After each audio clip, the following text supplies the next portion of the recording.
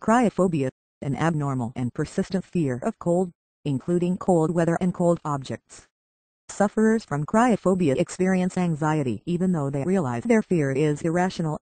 To avoid cold, they may live in a warm climate, dress more warmly than necessary, stay indoors on cold days, and avoid cold foods and ice cubes.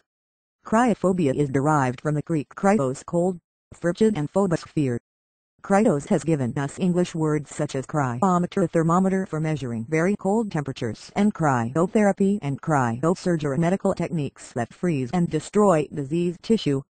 Related term, thermophobia, fear of heat. Cryophobia, an abnormal and persistent fear of cold, including cold weather and cold objects. Sufferers from cryophobia experience anxiety even though they realize their fear is irrational.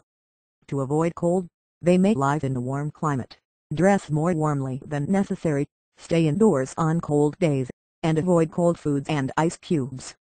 Cryophobia is derived from the Greek kryos cold, frigid and phobos fear. Kryos has given us English words such